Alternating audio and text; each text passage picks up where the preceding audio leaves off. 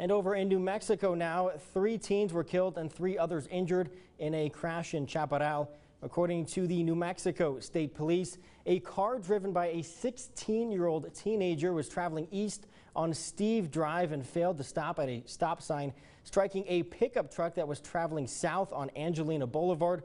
The driver of the car and two passengers, a 15-year-old and an 18-year-old, sustaining fatal injuries.